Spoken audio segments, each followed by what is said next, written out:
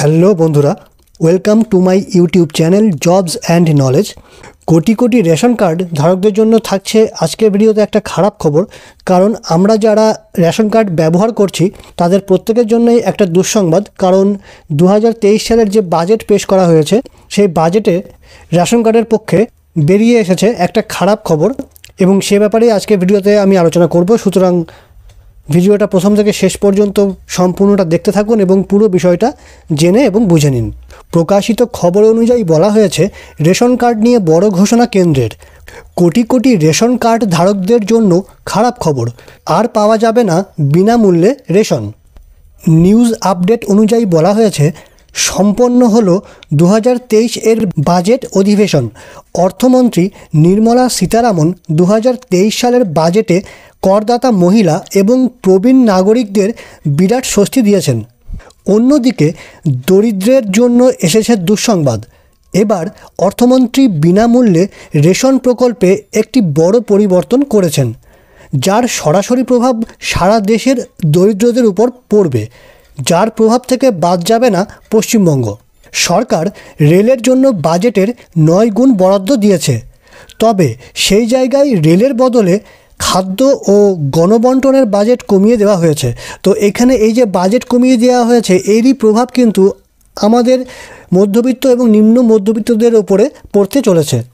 দু হাজার তেইশ চব্বিশের কেন্দ্রীয় বাজেটে খাদ্য ও জনসাধারণের বন্টনের জন্য বাজেটের বরাদ্দ তিরিশ শতাংশ কমিয়ে দু লক্ষ পাঁচ হাজার পাঁচশো তেরো কোটি টাকা করা হয়েছে। তো এখানে এই যে তিরিশ শতাংশ কমিয়ে দেওয়া হয়েছে, এটাই কিন্তু একটা বড় প্রভাব ফেলবে যারা রেশন উপভোক্তা আছেন। বুধবার অর্থমন্ত্রী নির্মলা সীতারামনের উপস্থিতিতে বাজেট অনুসারে খাদ্য ও গণবন্টনের খাতে দু হাজার তেইশ চব্বিশের বাজেটের পরিমাণ হল দু লক্ষ পাঁচ হাজার পাঁচশো তেরো কোটি টাকা, যা দু হাজার বাইশ তেইশের জন্য ছিল দু লক্ষ ছিয়ানব্বই হাজার তিনশো তিন কোটি টাকা। তো এখানে দেখুন, এই যে টাকার পরিমাণটা কিন্তু আগে অনেক বেশি ছিল, যেটা বর্তমানে তিরিশ শতাংশ কমিয়ে দিয়ে এই অ্যামাউন্টটা করা হয়েছে। অর্থাৎ আগের বছরের চেয়ে তিরিশ শতাংশ কম বিনিয়োগ হয়েছে এই বছর। অন্যদিকে কেন্দ্র সরকার একত্রিশে ডিসেম্বর দু হাজার বাইশ তারিখে প্রধানমন্ত্রী অন্ন যোজনা বন্ধ করার সিদ্ধান্ত নিয়েছে। এই যোজনায় করোনাকালে সকলকে অতিরিক্ত খাদ্য সামগ্রী দেওয়া হয়েছিল একেবারে বিনামূল্যে। তবে বর্তমানে প্রধানমন্ত্রী ঘোষণা করেছিলেন, অন্ন যোজনার পরিবর্তে কেন্দ্র পয়লা জানুয়ারি দু হাজার তেইশ থেকে ক্যালেন্ডার বছরের শেষ অবধি সমস্ত অন্তর্দয় এবং অগ্রাধিকার পরিবারগুলিকে বিনামূল্যে খাদ্যশস্য সরবরাহ করবে। সরকার এতে মোট দু লক্ষ কোটি টাকা ব্যয় বহন করবে। এই প্রকল্পটির নাম দেওয়া হয়েছে প্রধানমন্ত্রী গরিব কল্যাণ অন্ন যোজনা।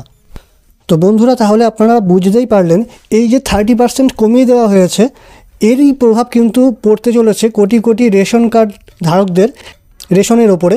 তো সেটা কতটা কার্যকারী হবে সেটাই আগামী দিনে দেখার বিষয়। তো তাহলে বন্ধুরা, এটাই ছিল আজকের ভিডিওতে ছোট্ট একটা আপডেট। আশা করি এটা আপনাদের অনেকের পক্ষেই এই ইনফরমেশনটা হেল্পফুল হবে এবং এই ধরনের সমস্ত তথ্যগুলো পেতে জবস অ্যান্ড নলেজ ইউটিউব চ্যানেলকে সাবস্ক্রাইব করতে ভুলবেন না।